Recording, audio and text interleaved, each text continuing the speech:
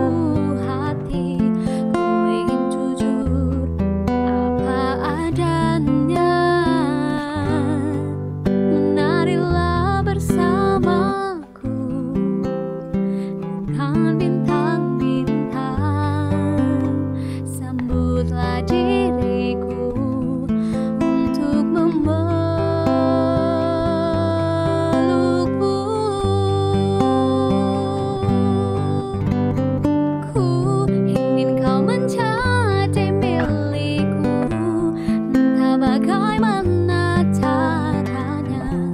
Lihatlah mataku Untuk meminta